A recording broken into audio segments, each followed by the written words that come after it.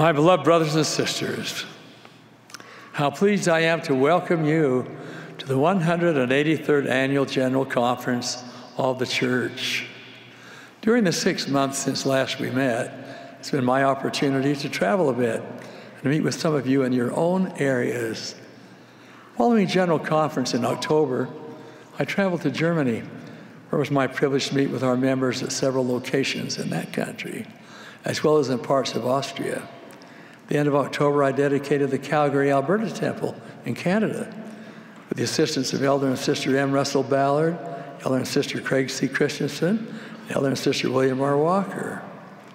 In November, I dedicated the Boise, Idaho Temple, also traveling with me and participating in the dedication were Elder and Sister David A. Bednar, Elder and Sister Craig C. Christensen, Elder and Sister William R. Walker.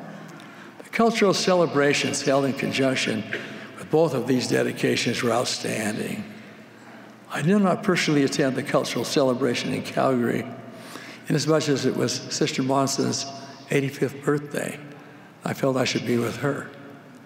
However, she and I were privileged to watch the celebration in our living room over closed circuit television. Then I flew to Calgary the following morning for the dedication. In Boise, over 9,000 youth from the temple district participated in the cultural celebration.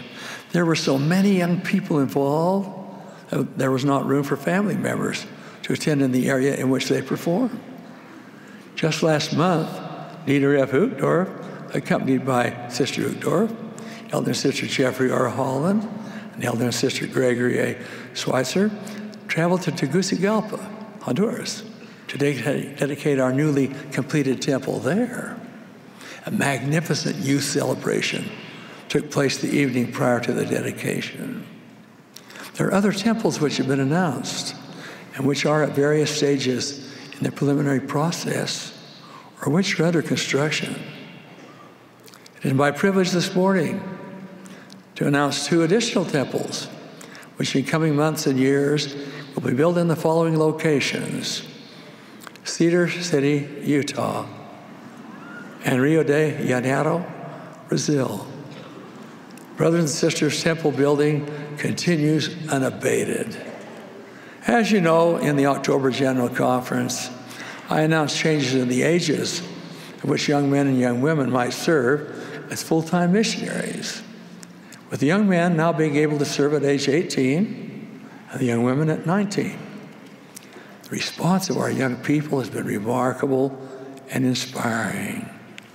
As of April 4th, two days ago, we have 65,634 full time missionaries serving, with over 20,000 more who have received their calls but have not yet entered a missionary training center, and over 6,000 more in the interview process with their bishops and stake presidents. Been made necessary for us to create 58 new missions to accommodate the increased number of missionaries. To help maintain this missionary force, because many of our missionaries come from modest circumstances, we invite you as you're able to contribute generously to the general missionary fund of the church.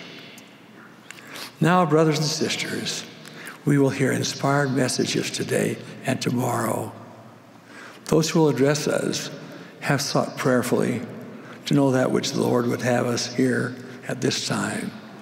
I urge you to be attentive and receptive to the messages which we will hear, that we may do so is my prayer. In the name of Jesus Christ the Lord, amen.